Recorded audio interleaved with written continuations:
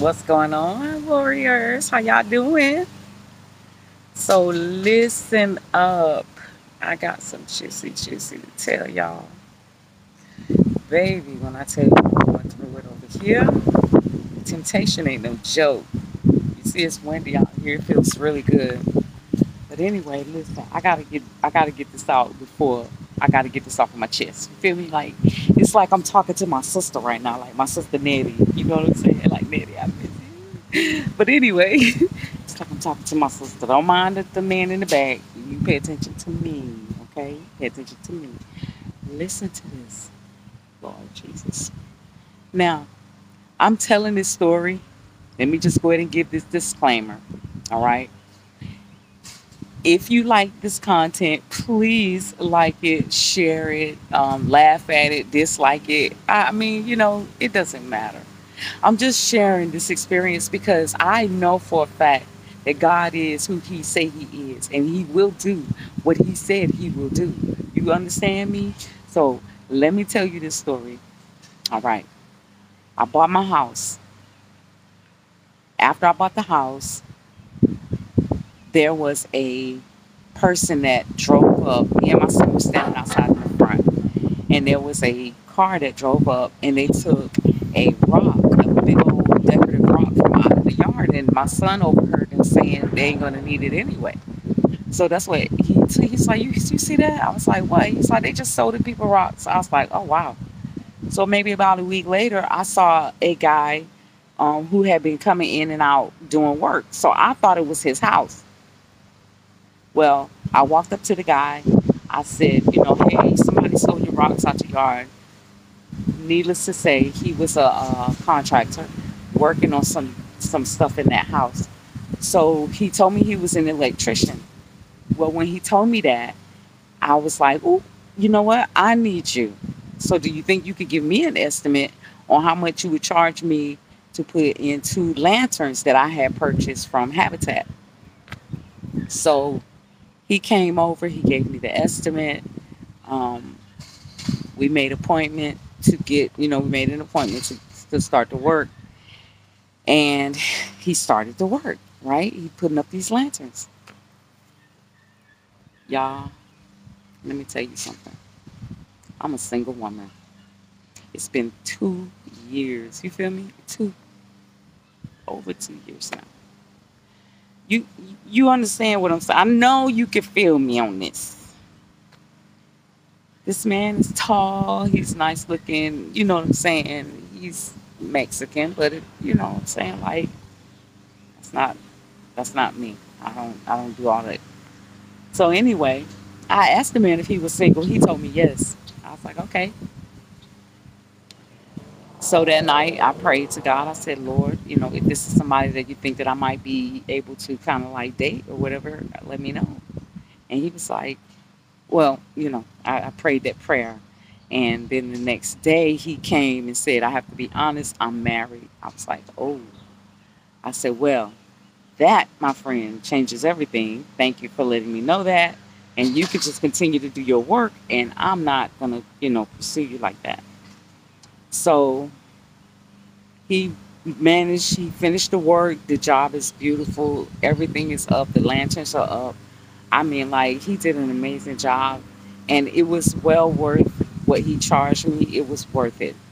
But, like, you know, I could kind of tell, scratch my back, that there was a bit of uh, attraction, you know, because he was asking me questions.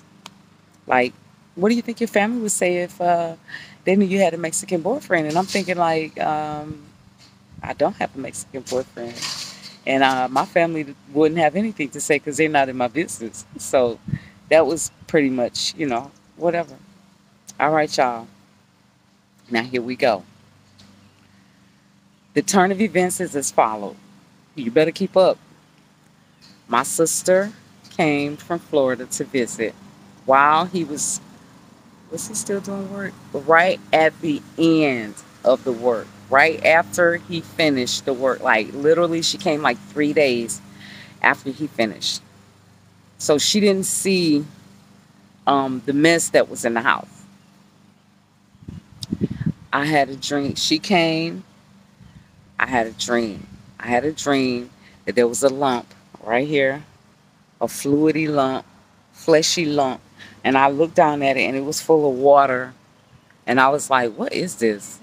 You know, in my dream. That's what I'm saying, in my dream. And I'm like, what is this? I ain't paying attention to that. I mean, I did. I prayed it. I prayed about it. And I, you know, I came up against it. All right.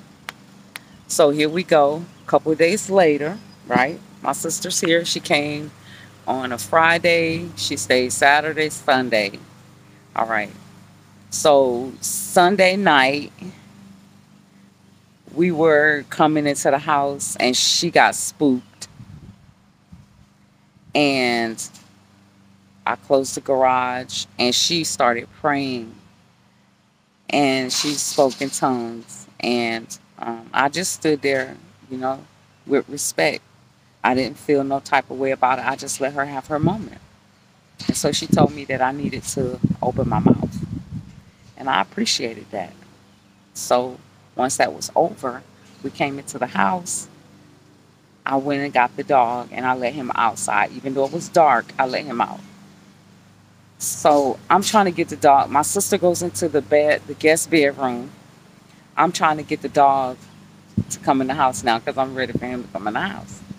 Why my dog would not come into the house?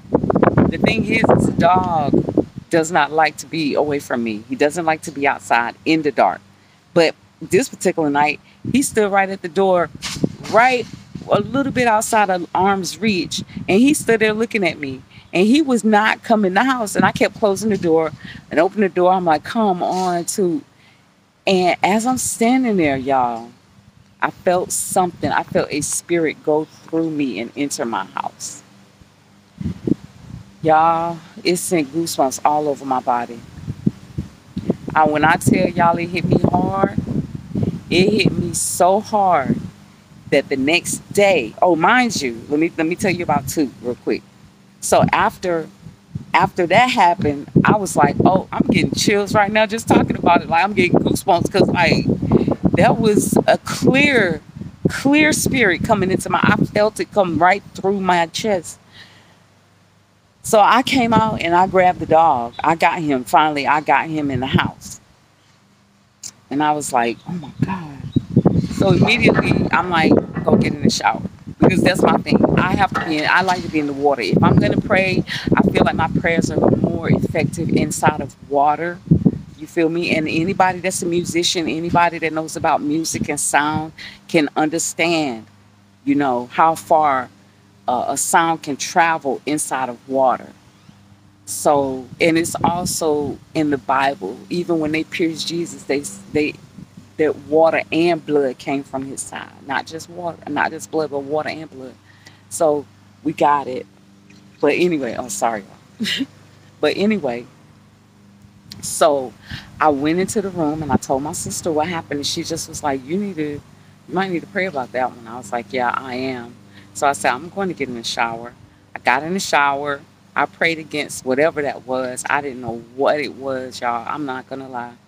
But I prayed. And I know my prayers are effective. But I also know that if you don't know what you're praying for, then that that very thing will continue to manifest itself.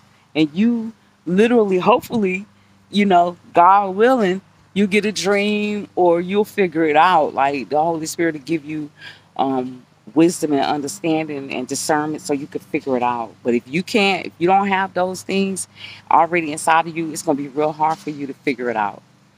So, anyway, the next day, um, I woke up and I had not one, not two, but three cold sores on the left side of my lip. One, two, three. For real, for real. One was this was biggest, medium, and small on my lip. I never had that happen to me ever in my life. Ever. I'm I'm never.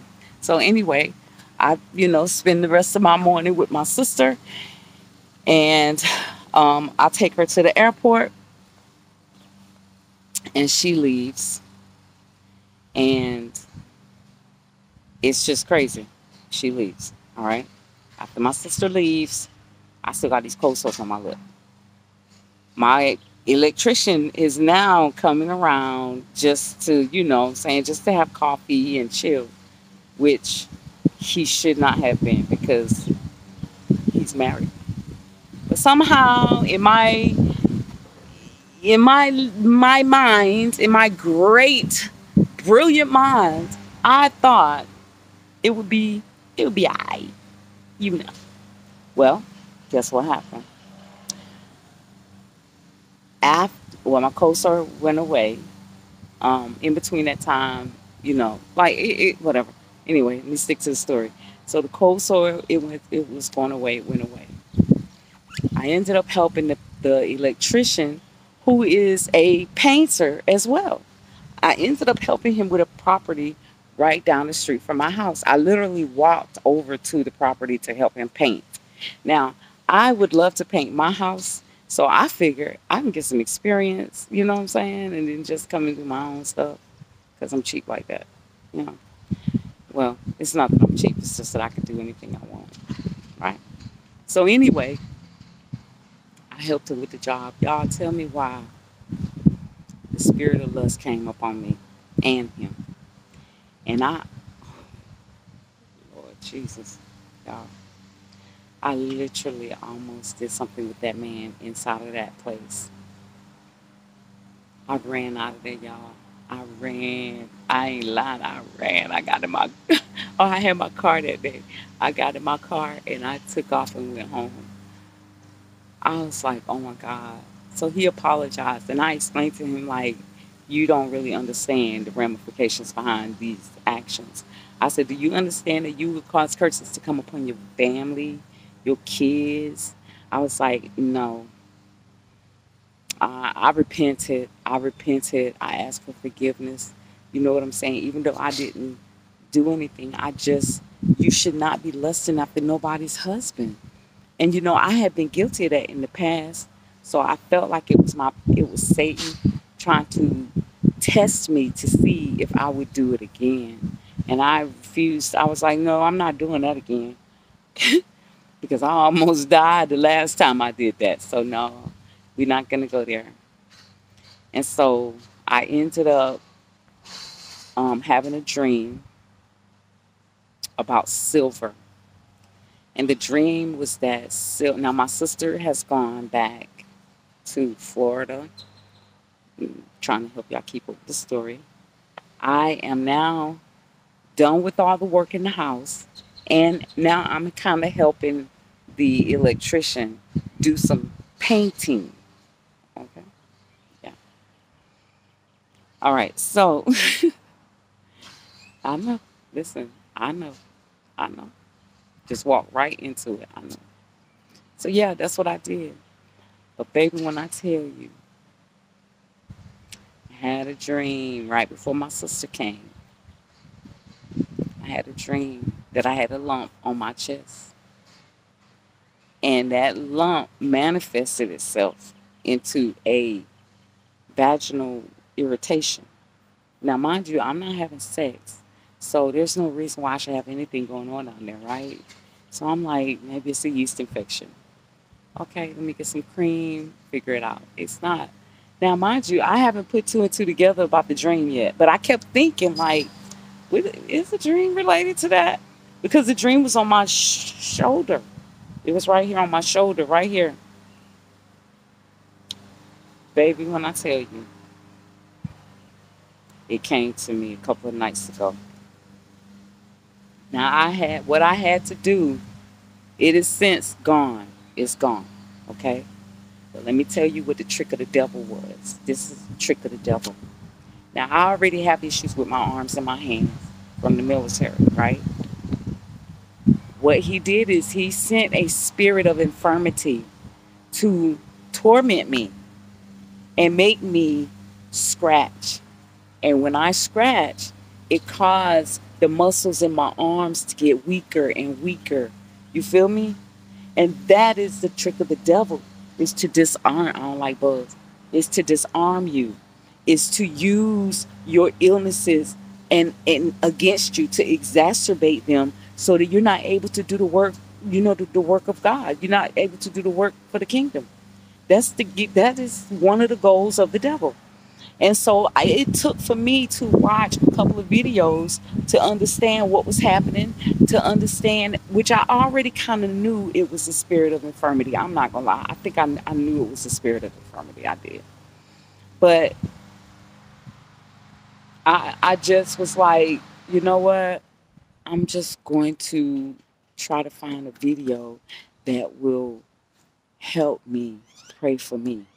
Because you know the bible says with two or more gathered in my name i am there. And so i found a uh, video of a uh, pastor doing deliverance. He was doing a deliverance prayer and i got in the shower and i prayed with him you feel me i prayed with him and so i felt better. Like I did, I felt better. I understood through watching um, some of Kevin L. A. Ewing videos. I understood what was happening with the itching, and I also was able to understand why that thing was on my chest because my whole arm was going numb from here, right where that thing was at, right here, all the way to the tips of my fingers, y'all. That's why the lump was there. The infirmity was on my arm. it caused a rash so that I was scratched. And I am left handed. Hmm. See? I'm left handed. I'm not right handed. I'm left handed. So, yeah.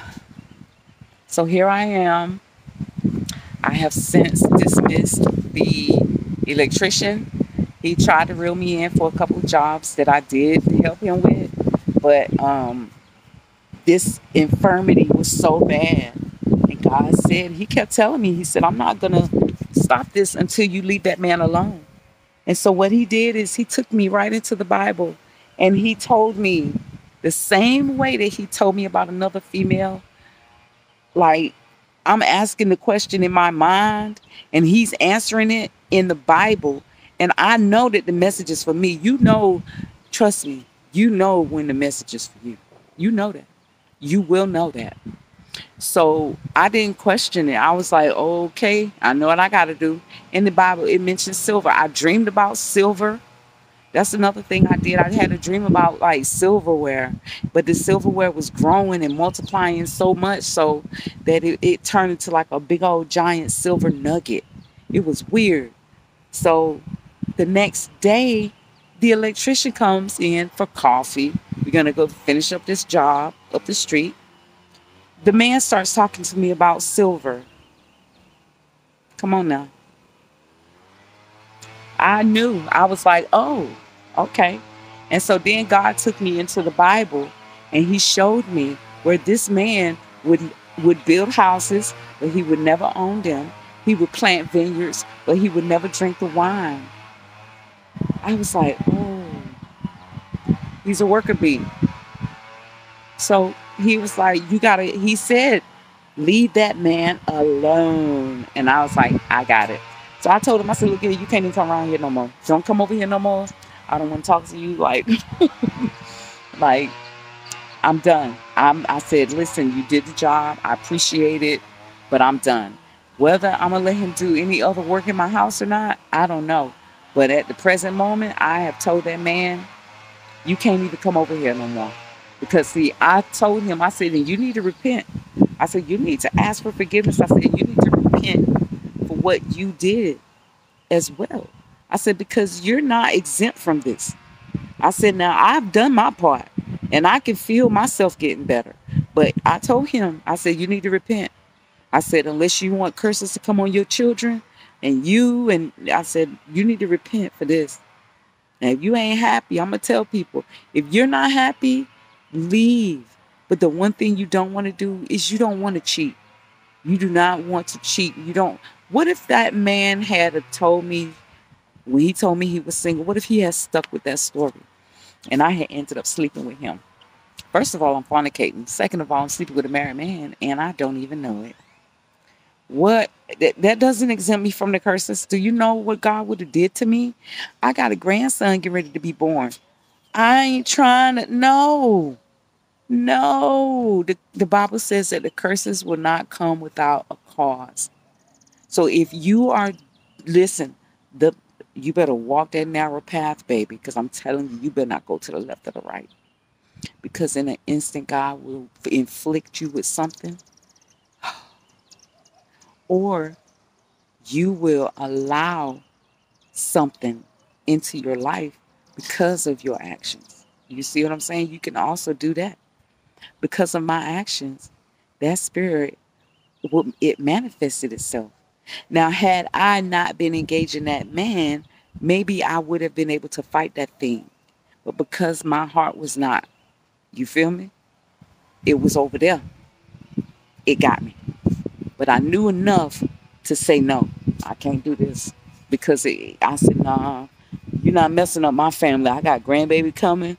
No, we're not doing this. And everybody's doing very well. So God forbid that I take off, go off the path and go to the side and do something I ain't supposed to do. Next thing you know, you know what I'm saying? Something happened to the babies. I can't. And that is exactly how these curses work. And not to mention the witchcraft that has been projected into my life, the covenants that my family, my ancestors have come into agreement with, masonry, all of that stuff. Those those spirits linger. They watch. They send watchers all the time. I have watchers. This dog might be a watcher. I'm watching him while he watching me. You feel me? Because I don't play. You got to go. Birds all up in my yard, raising their heads up in the air. Yeah, this ain't no game. So here we are a couple of weeks later. We have a hailstorm. I got orbs floating in my yard. Orbs. I mean like balls, round or orbs with like some kind of a a glow of a glow around them. And it was a lot of them in my yard. I had a halo, a glow like a, a rainbow at night over my house. So I know that I'm protected. Y'all, I live on the corner. I live on the corner. What does the Bible talk about? The cornerstone. That they that the builders rejected. They rejected me. But look at where I'm at. I'm standing. I'm on the cornerstone, baby.